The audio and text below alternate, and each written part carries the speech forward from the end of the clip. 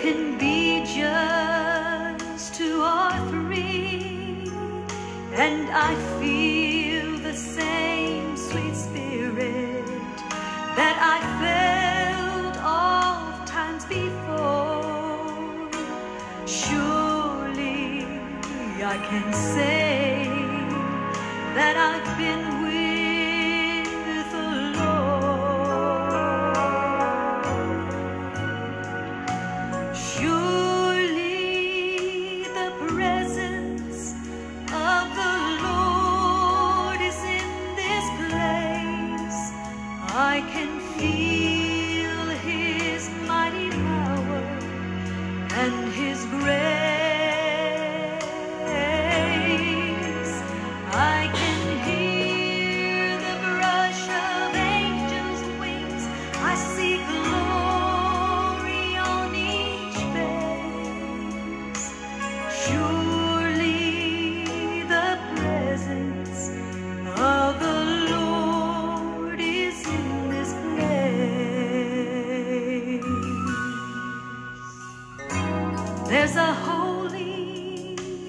around us as God's glory fills this place. I've touched the hem of his garment and I can almost see his face, and my heart is overflowing with the fullness of his joy. I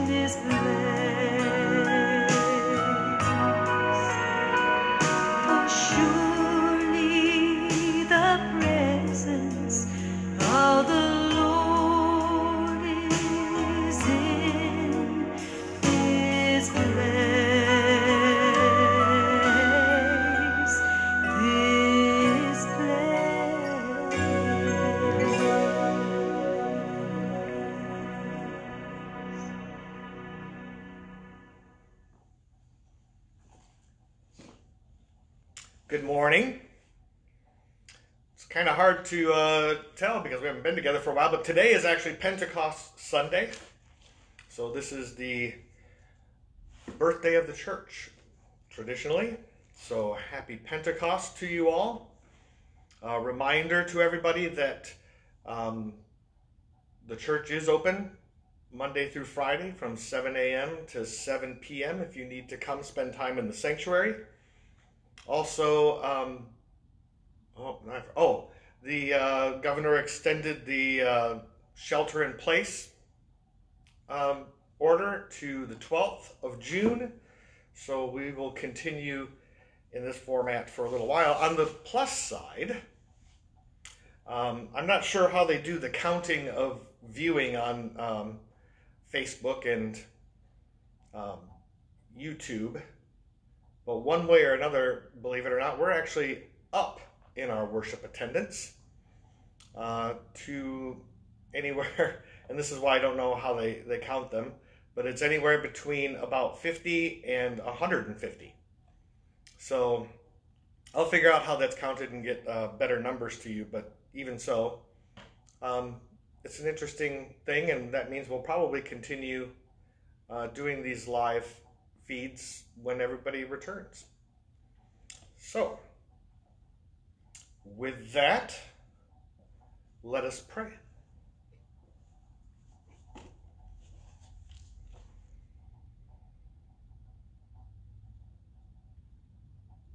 Mighty God, you breathe life into our bones, and your spirit brings truth to the world.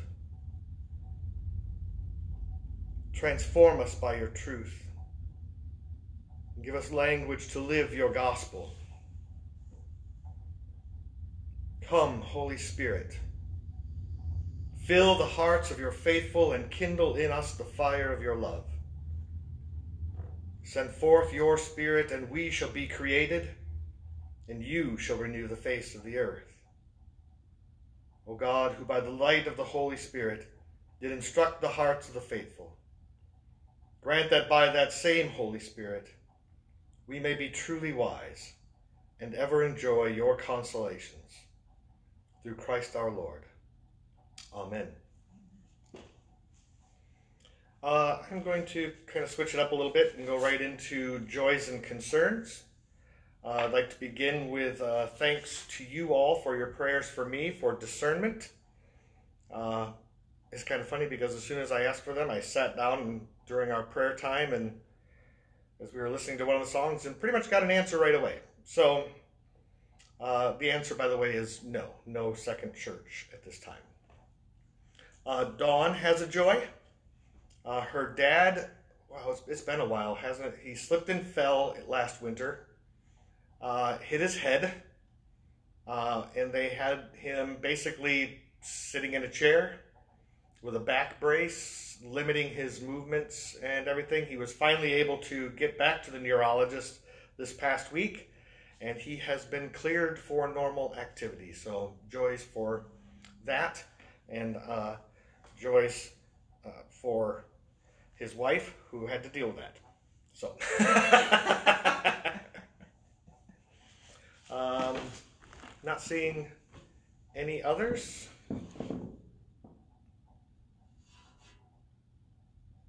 Let's be in a time of prayer.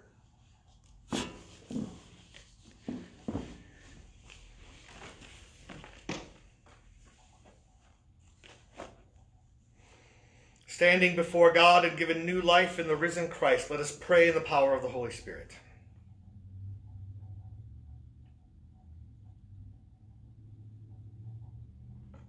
That your Holy Spirit may enliven the church and its ministry, cleansing its sin, healing what is broken, and strengthening its mission. Life giving God, send us your Spirit.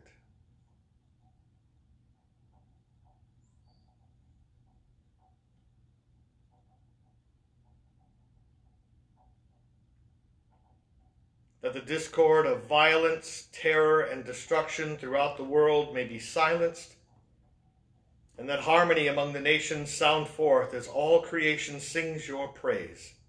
Life giving God, send us your Spirit.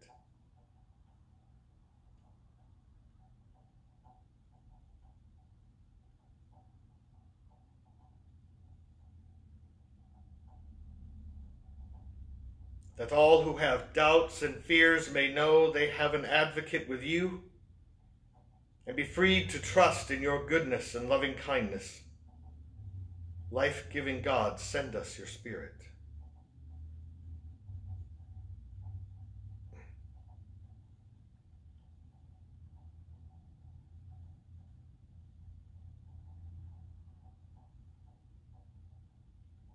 That those who are suffering may be soothed by the healing power of your Spirit, that the tears of all who weep may be dried,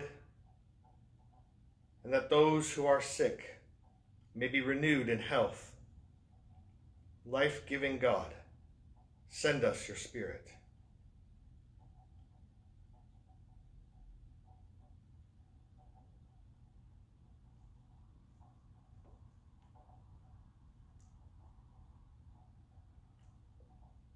That together with all who have loved and served you in your church and on earth, will keep us faithful to your ways and bring us to the joys of your heavenly kingdom. Life giving God, send us your Spirit.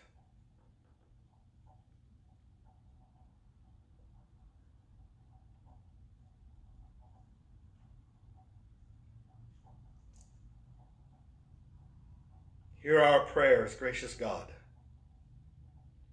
and receive them for your sake, and in the name of your Son, Jesus Christ, who taught us to pray.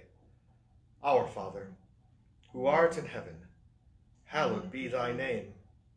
Thy kingdom come, thy will be done, on earth as it is in heaven.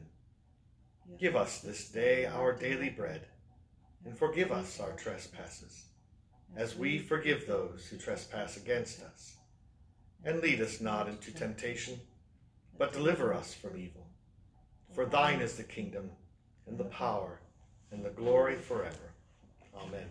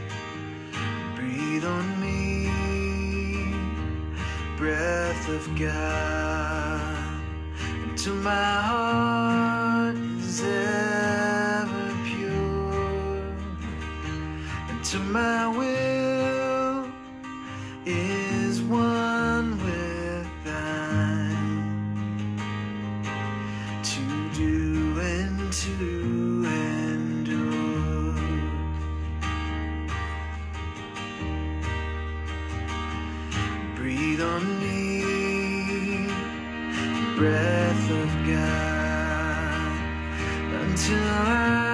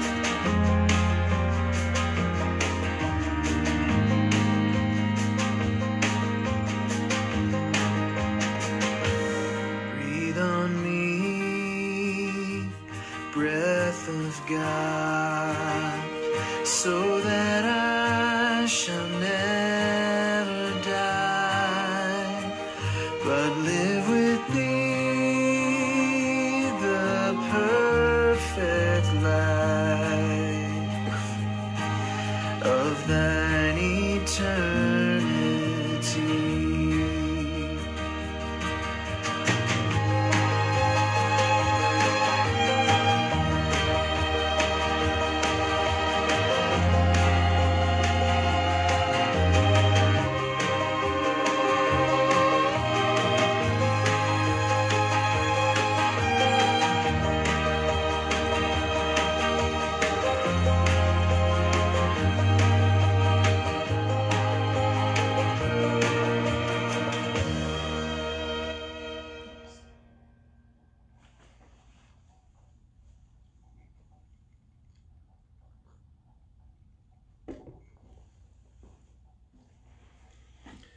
Today's scripture continues in the book of James, finishing up chapter 1. This is verses 19 through 27.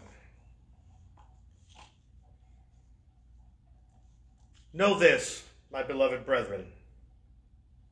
Everyone must be quick to listen, slow to speak, and slow to anger. For the anger of humans do not, does not carry out to the righteousness of God. Therefore, putting aside all moral corruption and the abundance of malice, in gentleness receive the word born within you, which is able to save your lives. And prove yourselves doers of the word and not merely hearers who delude, delude themselves.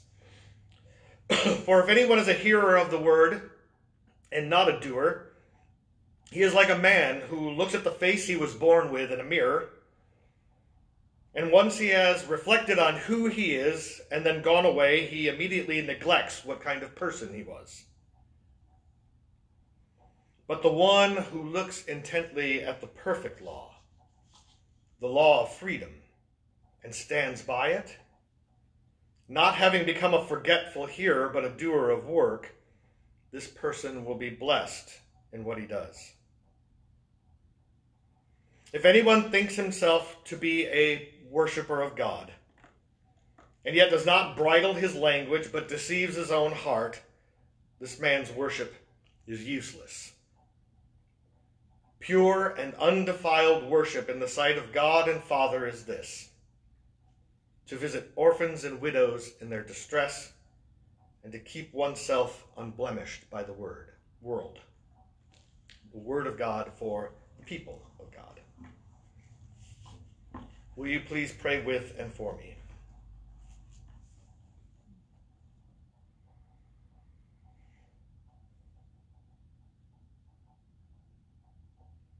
Our hearts are cold today, O God. We feel no burning desire, no zeal to pray or be with you. Our heart is frozen by the chill of emptiness, sluggish and stalled. Send forth your Spirit to revive our hearts. Spark them with a relish for service, with a longing to pray. Take us beyond the need to feel the reassurance of a lover's heart. May we seek to love and serve you, even when our wintry hearts decline to dance with springtime grace. Remind us of the ageless truth that we become what we pretend to be. And as this long day passes, may we begin to glimpse a growing warmth beyond our words and deeds, the marriage of what I would be and what I am. And may our desire to be your flame of warmth and love spark other stalled souls to come alive a flame in you. May this be so, O God. May this be so. Amen.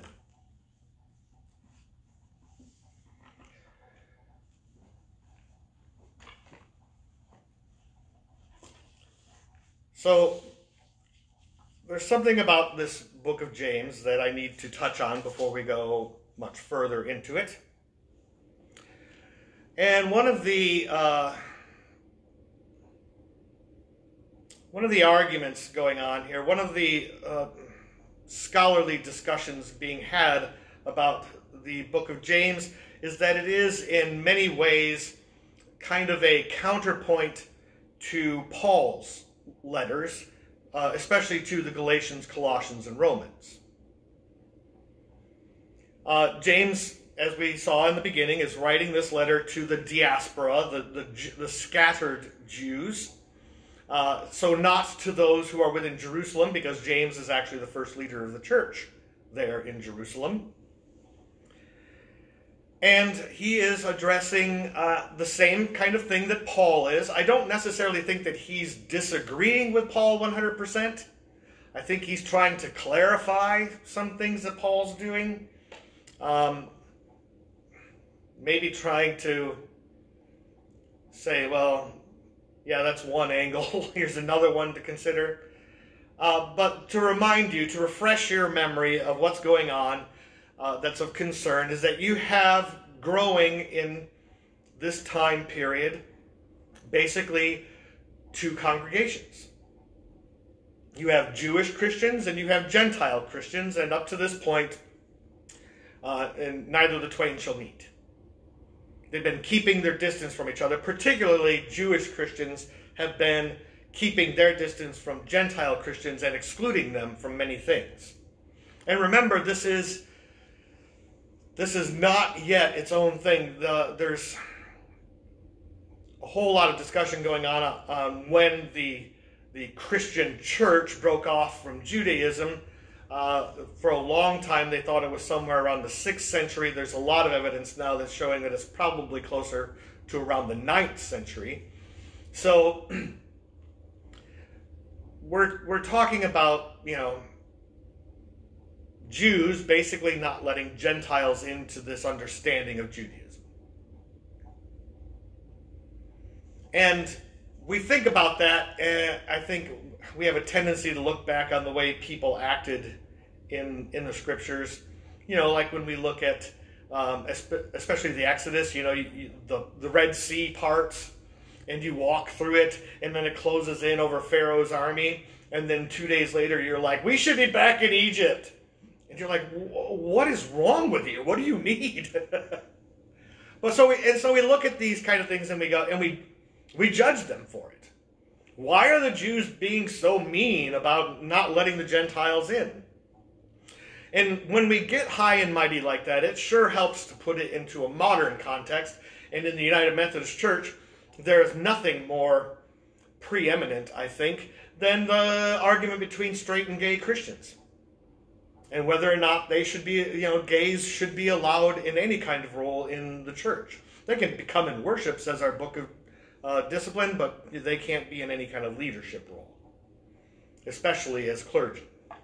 And so we have that kind of thing. And if you have ever, ever listened to some of the debates that go on at annual conferences and at general conferences, you, you'll understand why James is beginning or you know addressing the Jewish Christians, telling them to hold their tongues, to just listen to what's going on and stop talking, stop being angry about everything.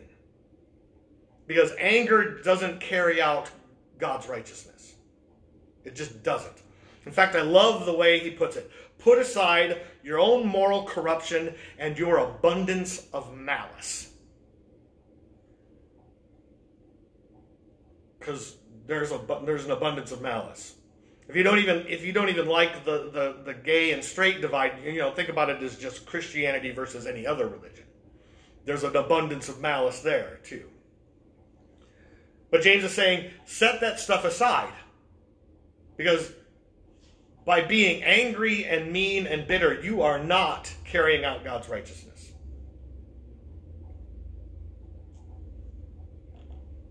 And then he starts to address the main arguments that Jewish Christians are putting forth about the exclusion of Gentile Christians. And the main one is that Gentiles are impure. In the tradition of Judaism, uh, in order for a Gentile uh, to actually become a Jew, they have to do three things. Uh, the first is that they have to become circumcised if they're male. I don't know why I felt I had to clarify that, but anyway. Uh, the second is they have to um, go through a ritual bath called a mikvah. It's where baptism comes from. And they have to uh, literally wash themselves first. And this is kind of funny because I would love to see this kind of stuff in, in the church nowadays to just see how people would react. They have to wash themselves first before they go through the mikvah, and before they, and in, in order to even do that, they have to be inspected to make sure they hit every spot. So somebody's job in the Jewish community was to inspect every nook and cranny, cranny of a naked person to make sure they didn't miss a spot when they washed. If you think you have a terrible job,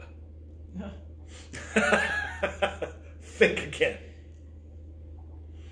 And then when they get in the bath, what they, they are submerged. Guess how many times? Three. And on the third time, they rise up out of the water and they say, My father was a wandering Aramaean, which is a reference to Abraham. And then they take a new name. And the third thing they have to do is they have to make uh, an offering, a um, sin offering, literally at the temple, which is uh, to atone for their previous lives' idolatry. Because they were worshiping other gods, which is idolatry, and so they have to make that offering. So, according to the scriptures, the Jewish Christians have a point. They are technically, by the scriptures, impure. They're idolaters. And so we can't mix with them because it's against the rules. And so James uses this purity language throughout this particular text. He talks about moral corruption, which is sometimes uh, translated in some texts as filthiness. He talks about keeping unstained, being pure and undefiled. Even he's, he seems to be tying this to uh, um, bridling our tongues and our anger and our um, and our malice as being somehow impure. And so they're saying, well, the, the Gentiles are impure, and he's saying, you're not so clean yourselves. Because part of this purity thing is carrying out God's righteousness, and you're not doing that the way you're acting right now. You're just not. And then argument number two, which, by the way, again, for probably the third time in this chapter alone, uh, brings in birth language because in Judaism, uh, you were born a Jew. If your mother was Jewish, you were Jewish when you were born. That's how it is. And James t- kind of takes that around, eh, turns that around, and, he's, and he says, you know, don't think about what you were born into just because you were born. Think instead about this word that is born in you.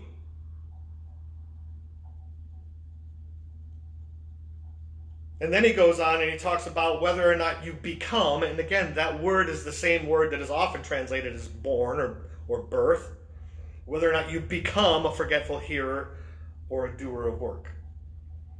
and he brings it again into, a, and actually, you know, I don't know if you ever get a chance to really deep down study some of this stuff and the reason I get into the words so much is because you find out how really clever these guys were. Because he uses the example of a man who looks at the face he was born with, which sometimes gets translated as your natural faith, but face, but it really means the face you're born with. I don't know if you can get a new one, but anyway, um, looks at the face he's born with in a mirror. And then he uses this great turn of phrase. And once he has reflected on himself, which is not reflecting back in the mirror, though it's meant to be a tie to that, but thought about himself. He has contemplated himself. He has meditated on who he was born to be.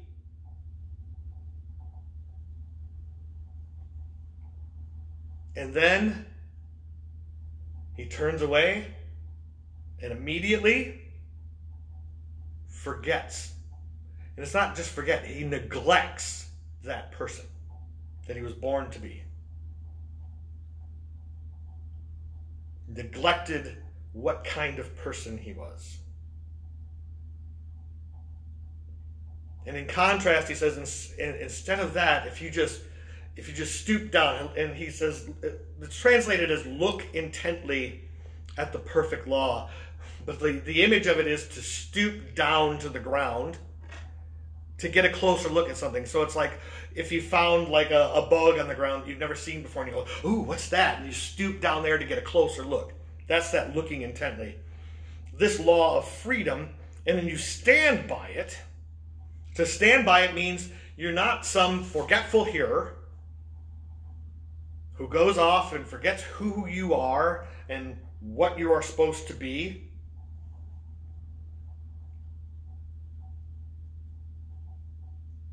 Becoming a forgetful hearer, being double minded, being two faced.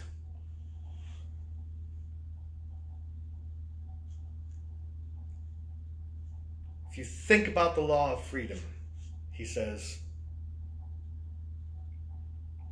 you'll find that it's about what you do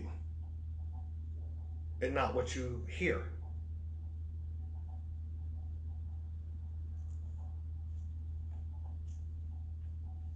And then we get into argument number three from the Jewish Christians.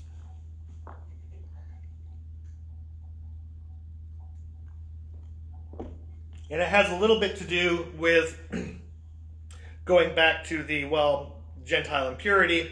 And they're like, look, we practice the proper rituals.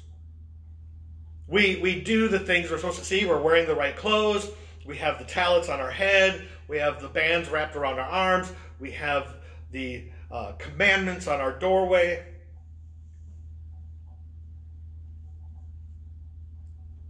And so they're not doing those things. They're not even going to the temple to make their offerings, which is ironic. It's kind of one of those things that's like, uh, well, they're impure because they're not making offerings, but we're not letting them make offerings because of who they are. So it's like, well, hey, thanks for closing the door completely. And then James goes, okay, you think that you are a worshiper of God. But every word that comes out of your mouth is anger and malice. And you deceive, you deceive your heart about what it actually means to be a worshiper of God.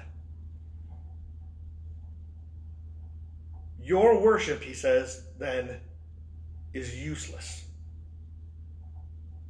Now, sometimes you'll get in your uh, translations, um, the tra- it'll say, uh, if anyone thinks himself to be religious. And I want to make a very interesting distinction here. The word religion actually comes from uh, the Latin word religio, religio, and it literally means, you know, it's two part word, re, which means again, so if you revisit something, or you rethink something, or you rebach, uh,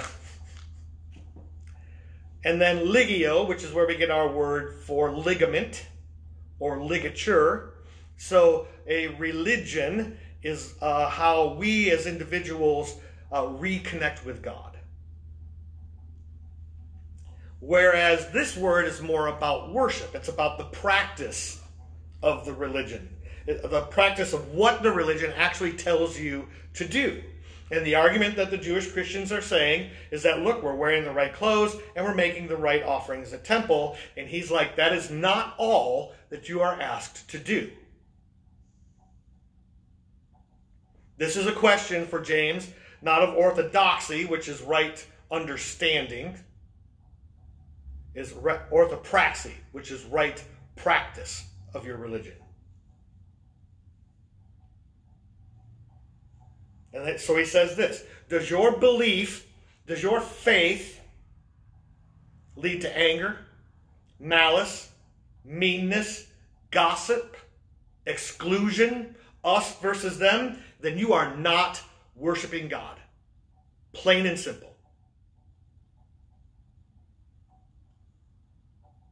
If, however, your belief, your faith leads you to love those that your culture leaves helpless, and to your own personal purity, that James says, that is worship. Real and pure and undefiled.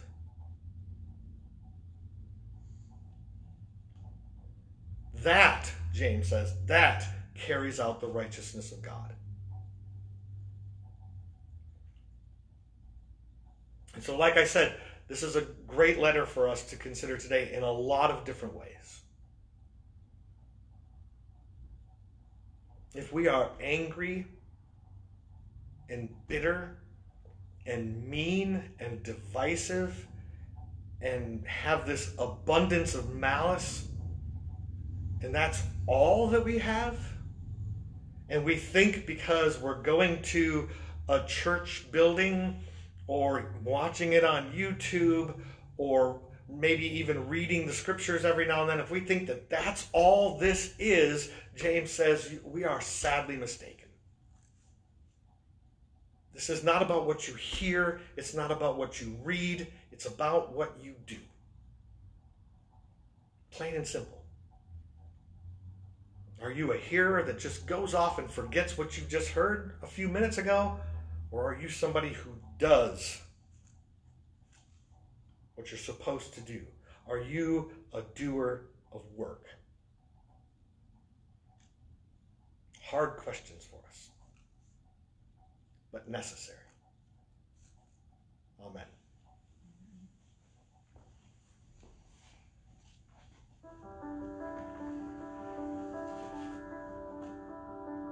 When you speak, darkness has to bow, confusion has its final hour.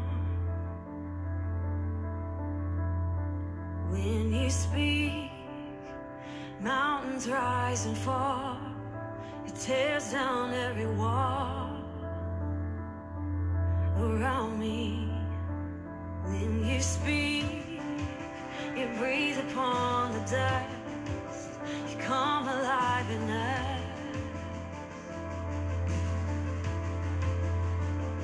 When you speak, you silence every fear.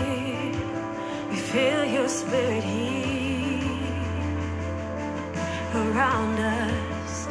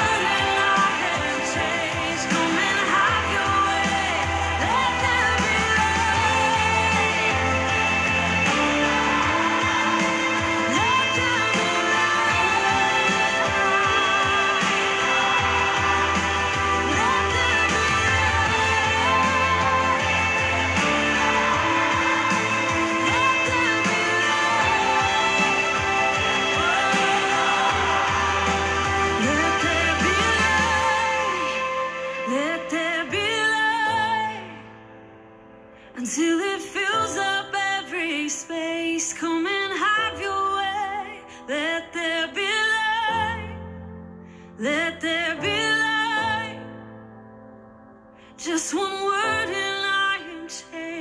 Come and have your way.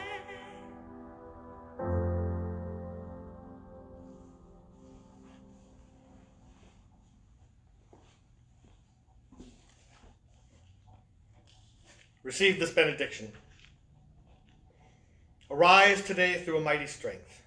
God's power to guide you, God's might to uphold you, God's eyes to watch over you, God's ear to hear you, God's word to give you speech, God's hand to guard you, God's way to lie before you, God's shield to shelter you, and God's host to secure you.